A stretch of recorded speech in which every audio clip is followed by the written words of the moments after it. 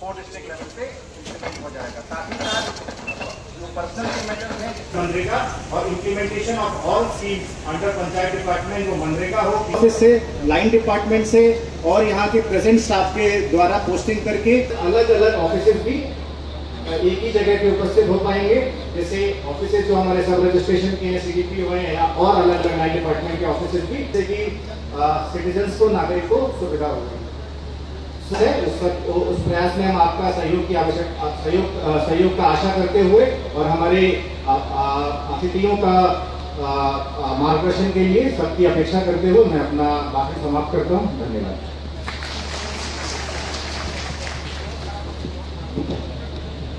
কাছাড় জেলা আপনাকে অনেক অনেক ধন্যবাদ লক্ষ্মীপুর যা ধ্যান জ্ঞান করা করা যায় অভ্যুদয় করা যায় যাতে করে লক্ষ্মীপুরে প্রত্যেকটা মানুষের যাতে উপকার হয়, যাতে একটু ভালো থাকতে পারে।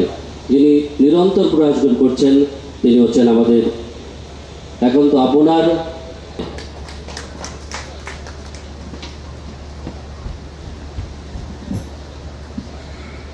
মন্ত্রী শ্রী জয়ন্ত মল্ল বড়ুয়া মহাশয়, এখানে উপস্থিত আছেন আমাদের শিলচরের মাননীয় সাংসদ শ্রী পরিমল শুক্লবৈদ্য মহাশয় আমাদের শিলচর আজকে থেকে দায়িত্বভার গ্রহণ করছে শ্রী ধ্রুবজ্যোতি পাঠক মহাশয়। এখানে উপস্থিত আমাদের প্রাক্তন বিধায়ক শ্রী দিলীপ কুমার পাল মহাশয়, প্রাক্তন অন্যতম ডাইরেক্টর শ্রী নিত্যভূষণ দে মহাশয়, শ্রী কনাথ পুরকাইস্ত মহাশয়, শ্রীমতী রীনা সিং মহাশয়া, পৌরসভার মাননীয় সভাপতি শ্রী মৃণাল কান্তি দাস মহাশয় শ্রী সঞ্জয় কুমার ঠাকুর মহাশয়, শ্রী গুঞ্জন কর আগে আমরা উনিশশো বিরানব্বই সাল থেকে বত্রিশ বছর আমরা মহকুমার অধীন লক্ষ্মীপুর মহকুমা হিসাবে ছিলাম। আজকে দিনে আমরা জেলা সম জেলার স্বীকৃতি মাননীয় মুখ্যমন্ত্রী মহাশয় আমাদেরকে দিয়েছেন। সম জেলাতে লক্ষ্মীপুরকে উন্নতিকরণ করা হয়েছে। এই জন্য আজকের দিন আমাদের জন্য অত্যন্ত আনন্দের দিন, অত্যন্ত গর্বের দিন। আমি প্রথমে আমাদের মাননীয় মুখ্যমন্ত্রী ডক্টর হিমন্ত বিশ্ব শর্মা মহাশয়কে ধন্যবাদ জানাই। যে গত বছর যখন ডিলিমিটেশনের প্রক্রিয়া শেষ হয়, তো আসামে একটা ব্যাপক প্রশাসনিক সুধার যেটাকে আমরা বলি অ্যাডমিনিস্ট্রেটিভ রিফর্মস উনি শুরু করেন।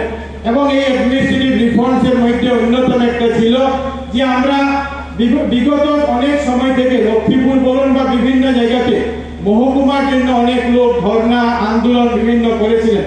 আমরা এই লক্ষ্মীপুরের মানুষও বিভিন্ন সময় ধর্ণা আন্দোলনের মাধ্যমে আমরা মহকুমা পেয়েছিলাম কিন্তু মাননীয় মুখ্যমন্ত্রী মহাশয় দূরদর্শিতাকে আমি ধন্যবাদ জানাই যে উনি নিজে নিজে চিন্তা করলেন যে আমরা বিধানসভা ভিত্তিক আমরা আমাদেরকে প্রথমে উনি বলেছিলেন যে আমরা উপজেলা হিসাবে উন্নতিকরণ করব।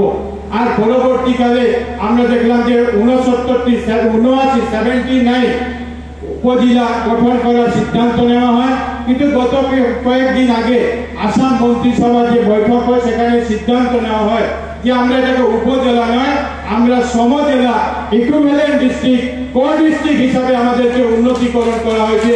এই জন্য পুরো লক্ষ্মীপুরবাসীর তরফ থেকে আমি মাননীয় মুখ্যমন্ত্রী ডক্টর হিমন্ত বিশ্ব শর্মা মহাশয়কে ধন্যবাদ এবং কৃতজ্ঞতা জানাচ্ছি। আজকের দিনে জেলা শাসক মহাশয়, জেলা আয়ুক্ত মহাশয় বলেছে যে আমরা মহকুমা হিসাবে আমাদের কি ছিল? নতুন শহর জেলা হিসাবে আমরা কি পাবো?